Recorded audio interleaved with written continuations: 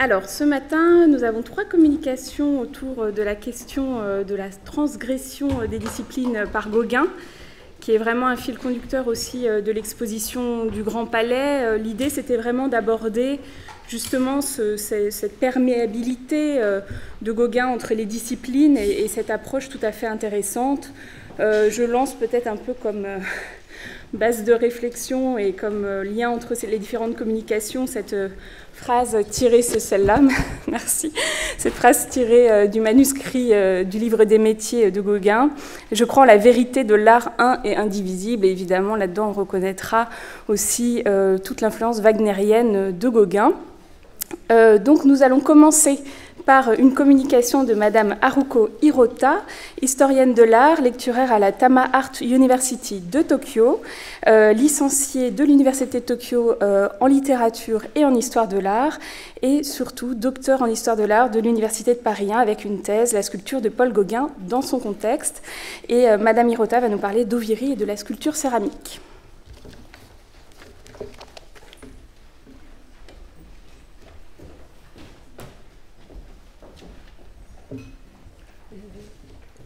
Merci de la présentation. Euh, C'est un grand honneur pour moi de faire une communication devant vous au musée d'Orsay. Et je tiens à remercier l'équipe de ce musée, en particulier Mesdames euh, Ophélie Ferrier-Bois, Claire Bernardi, Scarlett Roliquet, ainsi que Madame Gloria Gloom of Art Institute of Chicago. En utilisant les termes de la céramique sculpture ou de la sculpture en céramique, Gauguin voulait à la fois élever le statut de la céramique en dotant cet art artisanal d'une qualité artistique sculpturale et renouveler la sculpture à l'aide du potentiel expressif de la céramique. Ainsi, Gauguin disait en 1895, en se souvenant de l'époque où il a commencé à faire de la céramique, qu'il avait vu la possibilité de donner à l'art de la céramique un élan nouveau par la création de nouvelles formes faites à la main. L'art de la céramique est celui de la terre et du feu.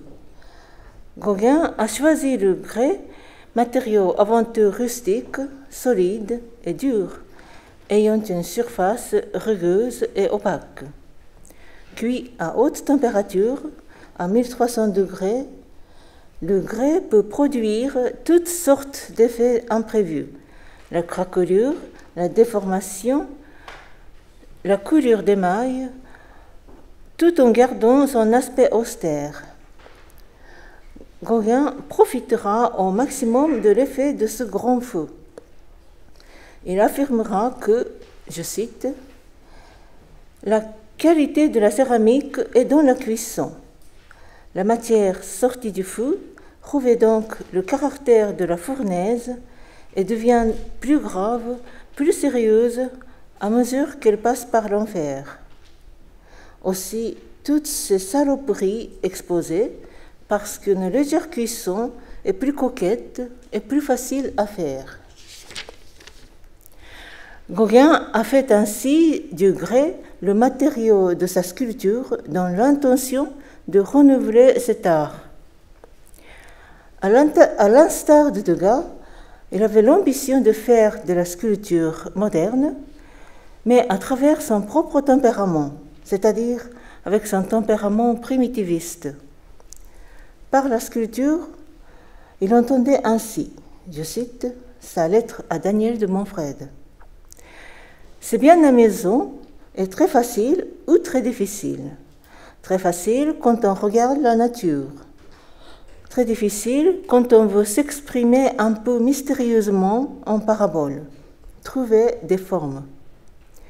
Je vais vous donner un petit conseil matériel. Mélangez avec votre terre beaucoup, beaucoup de sable fin.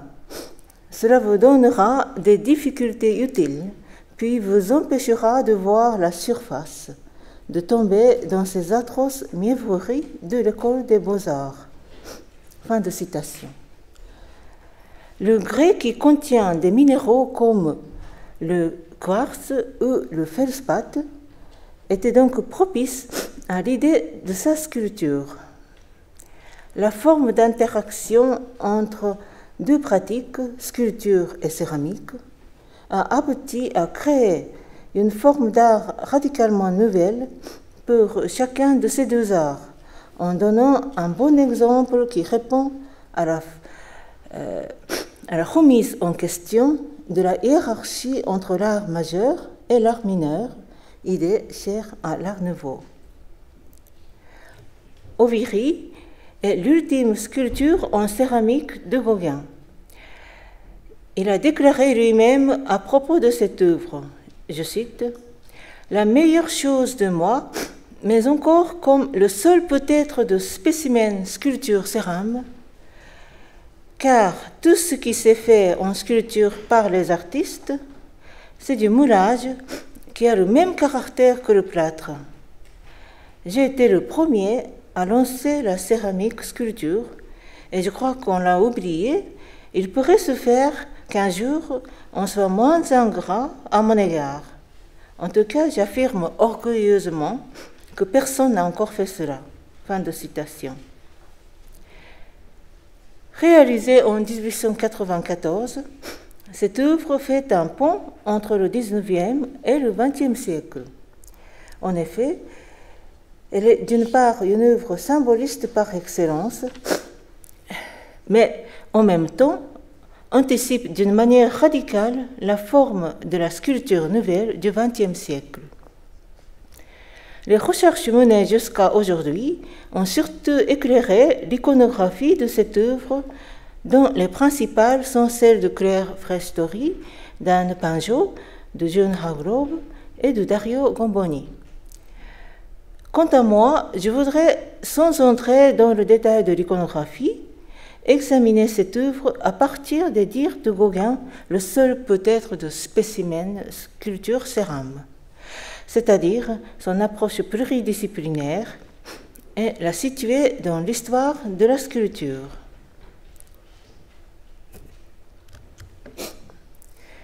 La partie du dos qu'on a surtout fait remarquer récemment a l'aspect de flamme et avait sans doute à la base la signification du grand feu, symbole de l'art de, la céramique pour Gauguin.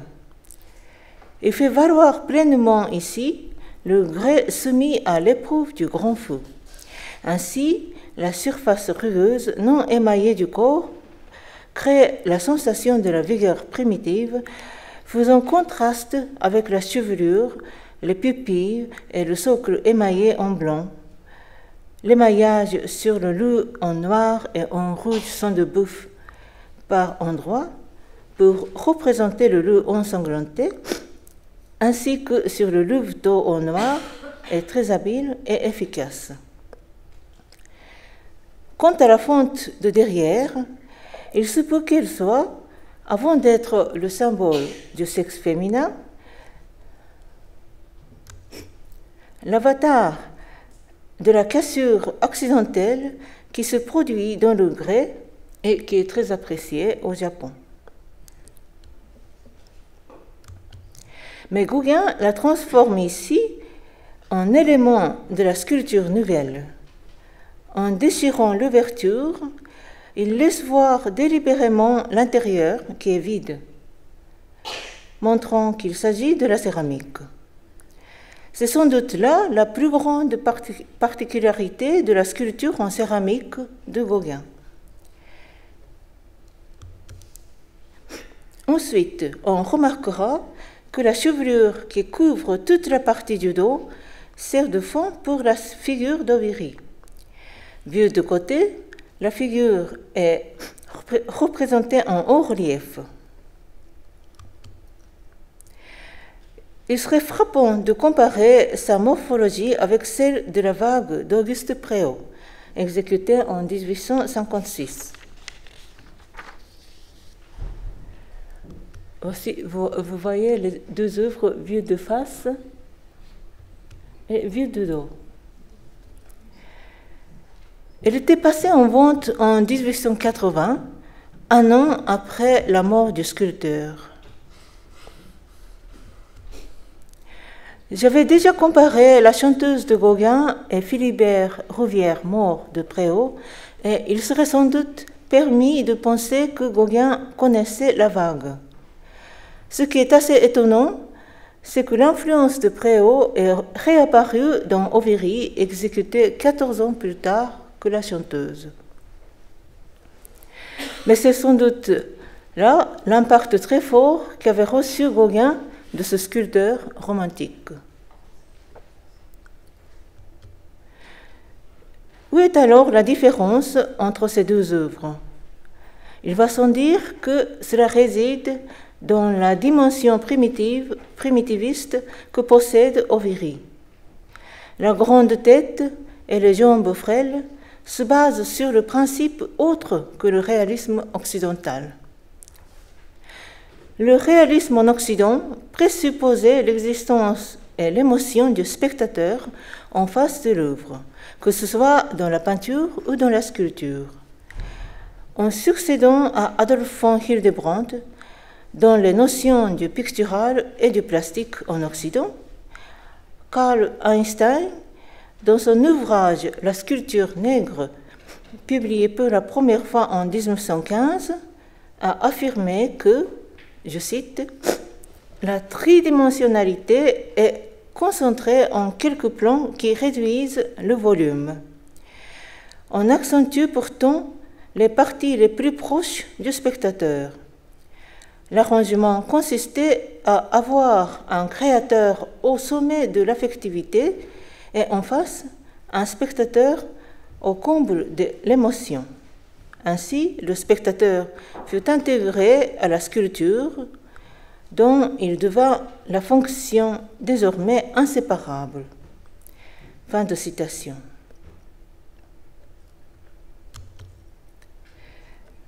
En revanche, toujours selon Karl Einstein, en 1915, la sculpture nègre, libre de la charge du conducteur d'émotions psychologiques, cultiver les formes plastiques pures et autonomes. Elle exclut ainsi le spectateur. Revenons à Oviri et à la vague. La femme de Préau induit le spectateur dans le monde de l'eau grâce à l'arabesque qui la représente, tandis que la déesse de Gauguin, avec sa posture verticale au-dessus de la taille, et les orbites ronds, pupilles blanches au milieu, c'est la dominatrice impavide qui repousse le spectateur. De fait, vue de face, Oviri est une statue qui rompt avec la tradition gréco-romaine de la représentation de l'homme. La statue d'Oviri présente, comme les sculptures océaniennes ou africaines, son autonomie due à ses regards magiques et à la frontalité. Mais d'où vient cette frontalité? Toujours selon Karl Einstein, dans la sculpture primitive, primitive, chaque partie du corps a son autonomie plastique, mais déformée de manière à absorber la profondeur. Ainsi, je cite, la représentation est intégrée dans le côté frontal qui a cependant une fonction tridimensionnelle. La représentation du volume comme forme a pour résultat immédiat de devoir déterminer ce qui constitue la forme. Ce sont les parties non visibles simultanément. Elles doivent être réunies avec les parties visibles dans une forme totale qui détermine le spectateur en un seul acte visuel. Fin de citation. Pour revenir à Oviri de Gauguin, chaque partie du corps a son autonomie et l'ensemble a sa réalité mythique, comme dans les œuvres primitives. Cependant, les parties non visibles ne sont pas réunies avec les parties visibles frontale. Ces parties non visibles sont représentées comme le fond de la figure en relief. Vu de côté, le volume est accentué, mais l'intérieur est creux. C'est là que résiderait la plus grande différence entre Oviri et la sculpture océanienne. Par la fente arrière, Gauguin montre délibérément l'intérieur. Ainsi, on pourrait dire que de face, Oviri est une statue primitive ayant un regard magique, mais en tournant tout autour du volume creux, on comprend qu'il s'agit de l'audace d'une sculpture moderniste avec la notion de l'espace ouvert montrant à la fois l'intérieur et l'extérieur. Et on ajoutera que si l'autonomie absolue de la sculpture refuse, comme le pensait Einstein, la participation du spectateur dans sa réalisation, la sculpture de Gauguin, qui invite à tourner autour, quant à elle, la réclame.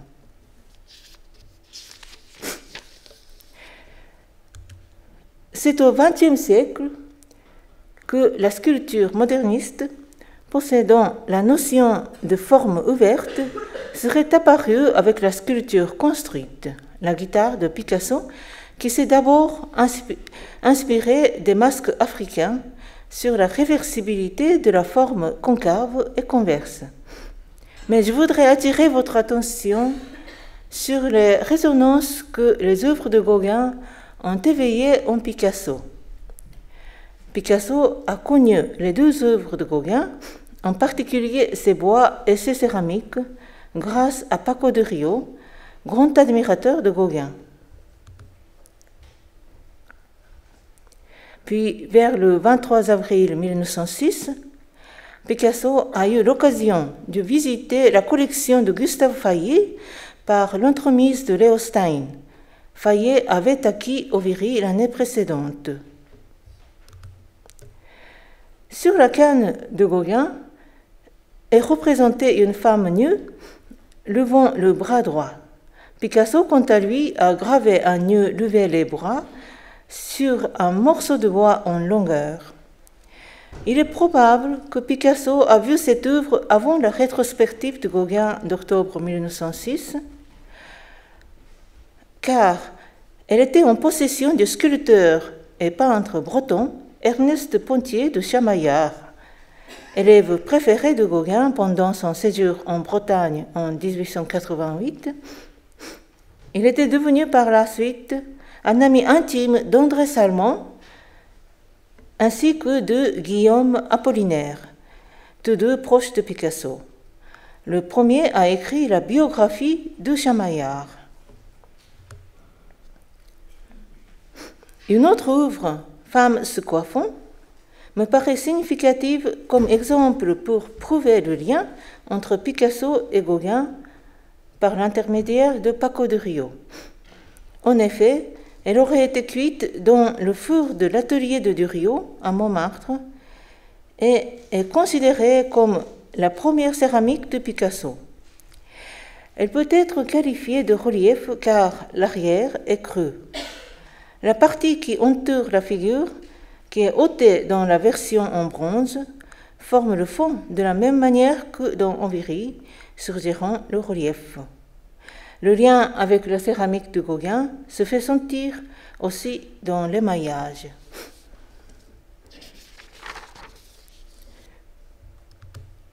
Picasso reçut un grand choc au mois de juin 1907 en découvrant les sculptures africaines et océaniennes au musée du Trocadéro.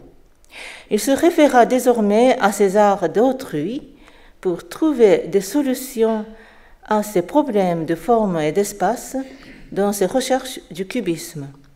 Bien que l'influence des arts africains ne soit devenue apparente